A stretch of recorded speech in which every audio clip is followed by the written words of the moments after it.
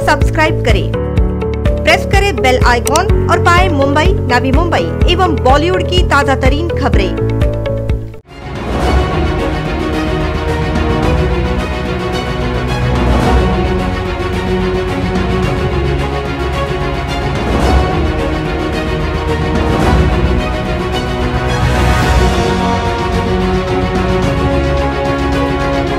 बीस साल पहले मैंने घोषणा की थी कि नई मुंबई में रहने वाले लोगों को, जो रेसिडेंशियल इलाके में 20 साल के लिए प्रॉपर्टी टैक्स नहीं बढ़ेगा, पानी का भी दर नहीं बढ़ेगा।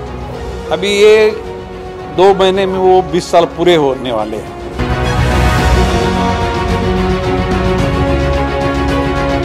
नई मुंबई की 15 लाख जनता है, उनको और पाँच साल के लिए फिर से बोनस देने का प्रयास करूँ।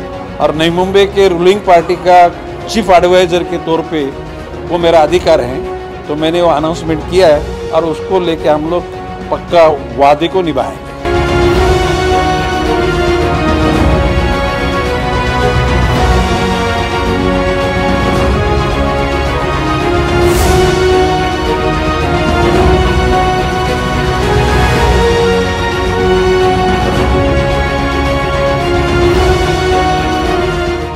In a major relief for tax-paying resident citizens in Navi Mumbai, there is going to be no hike in water or property taxes for the next five years.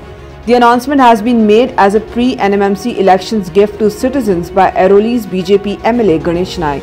Since its inception, it wouldn't be wrong to say that NMMC has been Ganesh Naik ruled because it didn't matter which political party he was in, Ganesh Naik's corporators always won the elections. With his defection from NCP to BJP, NMMC has become BJP ruled and the upcoming elections are going to be Ganesh Nag's first as leader of BJP in municipal polls. Hence the announcement gains more significance. According to the details given to the media, the decision will make the total number of years with no property or water tax hike to 25 years. 20 years ago, Ganesh Naik had made his first promise of no taxes hike for residents. The promise will be kept officially in March 2020 and the announcement of no taxes hike for the next 5 years makes it 25 years of no water tax or property tax increase in Navi Mumbai.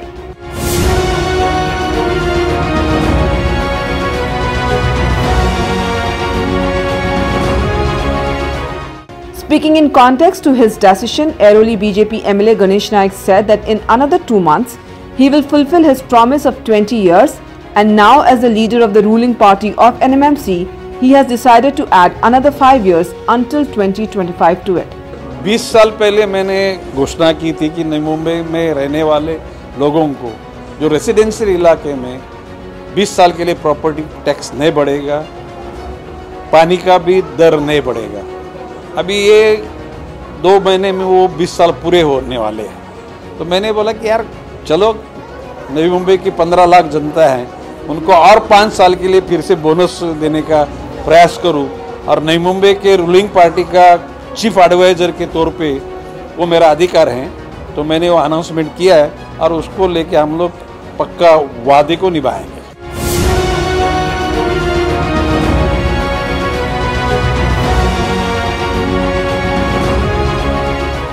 Ruling out any criticism for this populist announcement, Ganesh Naik said there would be no financial strains or impact on NMMC treasury because of this decision.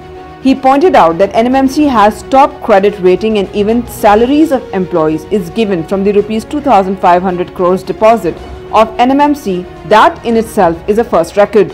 कुछ असर ने on the कॉन्ट्री ये हिंदुस्तान में क्रिसिल जो rating देने वाली company है जो गवर्नमेंट अप्रूव्ड ग्रुप है उन्होंने इस नई मुंबई महापालिका को लगातार पाँच साल ए डबल प्लस रेटिंग दिया है और इसके डिपॉजिट के इंटरेस्ट पे अधिकारी, कर्मचारी और रिटायर्ड हुए सब लोगों का पेंशन का कारोबार हो रहा है। ऐसी कौन सी भी कारपोरेशन नहीं है।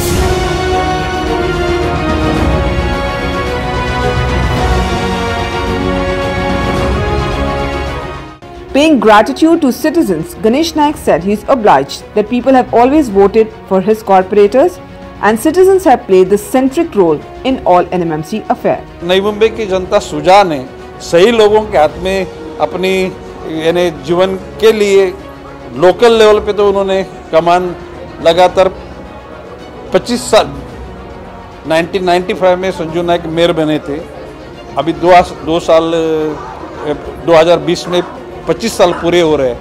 तो मैं समझता हूँ ये नई मुंबई के लोगों का मेरे विचारधारा पे जो एक विश्वास था, वो विचारधारा को लेके उन्होंने सही लोगों के हाथ में सत्ता दी, उसमें अपोजिशन लोगों ने भी मदद की, अधिकारी वर्ग, कर्मचारी वर्ग और जनता का भी योगदान बहुत अच्छा रहा है और आगे चल के जनता का योगदान भी सही रहेगा, ऐसा मैं समझता हूँ।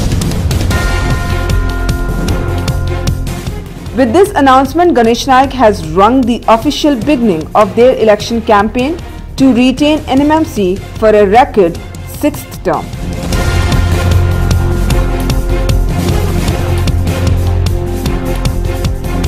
With Monica Bhosle, Zeba Varsia for NMTV News.